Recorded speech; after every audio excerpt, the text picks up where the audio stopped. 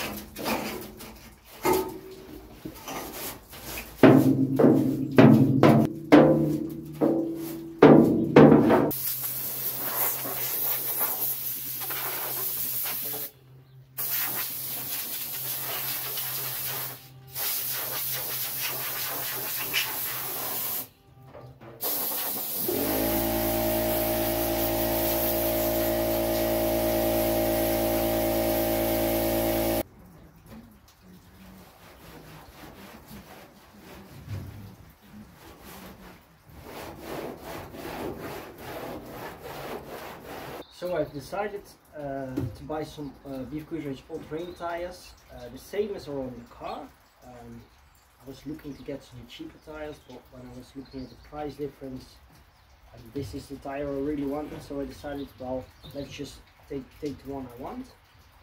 Um, the top of the trailer, it needs a few spots to be welded, but I'm still waiting for my rims to come back from powder coating.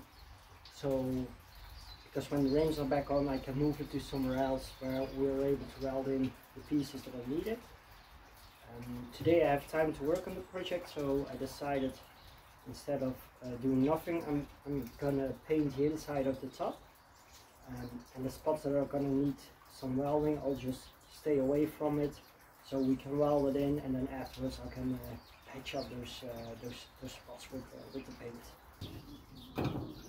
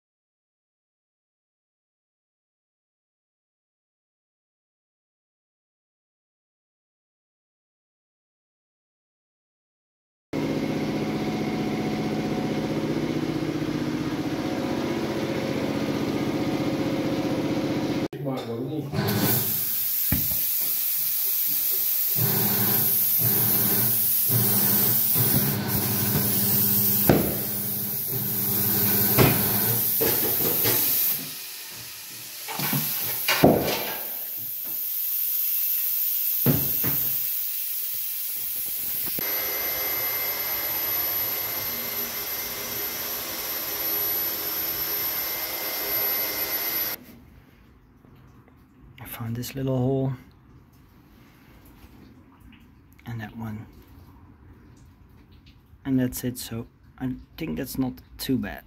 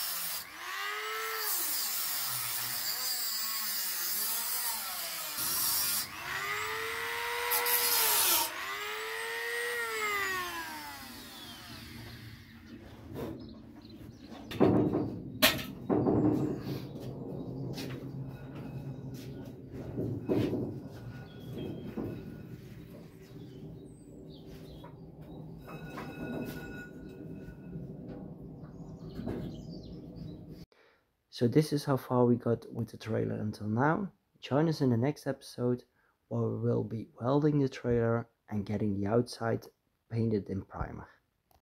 Thank you very much for watching. Until next time.